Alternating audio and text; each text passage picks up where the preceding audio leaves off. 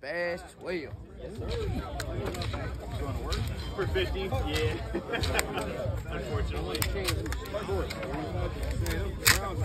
Makes sense to load. Oh, absolutely. And then we're.